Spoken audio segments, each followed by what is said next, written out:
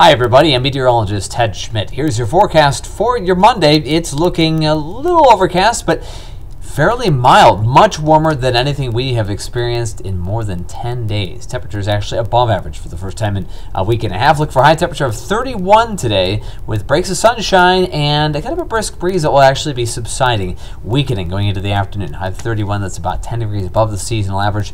The wind chill levels reaching the 20s this afternoon. That's above zero, which is way better the weather we had last week. We were sub zero at least a part of every day last week. with The wind chill below zero almost the entire time. 26, the expected high temperature tonight. Chance of uh, some freezing rain. A couple pockets of that. Very sparse activity well after midnight. Some sleet mixing in, maybe a little wet snow. 26 overnight. A couple of slick patches in the road for the morning commute. Tuesday, Wednesday afternoon into Thursday, chance of rain, snow, maybe a little bit of a wintry coating uh, early on Thursday, uh, especially, and then uh, things drying out for the weekend. High temperatures over the next several days, mainly in the 30s, which is again about 10 to 12 degrees above the seasonal average. Drying out for Friday and the weekend. Longer term forecast next week.